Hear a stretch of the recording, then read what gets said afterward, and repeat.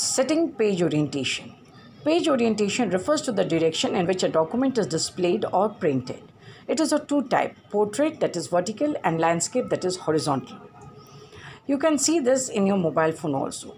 Portrait is a default orientation of the document. By default from the setting, the documents are portrait. Follow the steps to make the changes in the page orientation. Click on the orientation button Click on the orientation button in the page setup group of the layout tab. Select the landscape option from the drop down list and observe the changes. Previously, the text was in the portrait form. This was a portrait form. But after you have selected the landscape option, it has changed into landscape option. The same text has changed into landscape orientation. Setting paper, paper size. Different sizes of papers are used Different sizes of papers are used by us. Similarly, in computer also, different sizes of papers are used by the user in Word 2016, but it depends upon the type of the printer used. Follow the steps to set up paper size. Click on the size button in the page setup group of the layout tab.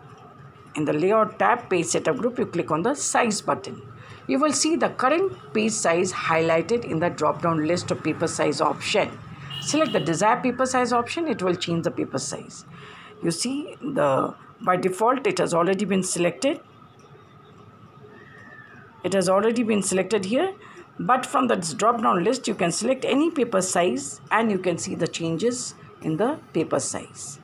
You can also click the page setup dialog box launcher to open the page setup dialog box. You can click the page setup dialog box launcher to open the page setup dialog box. This is a page setup dialog box. Click on the paper tab and select the desired paper size from the paper size drop down list. Click on the paper tab. From here you click on the paper tab and after that you select the desired paper size from the paper size drop down list. In the paper size drop down list you select the desired paper size. You can click here the arrows and increase and decrease the size also. The changes will be displayed in the preview section. All of whatever changes you are making here, it will be displayed in the preview section. Here it will be displayed here. Click on the OK button and observe the changes. Then go to the OK button and click it and the changes will be observed.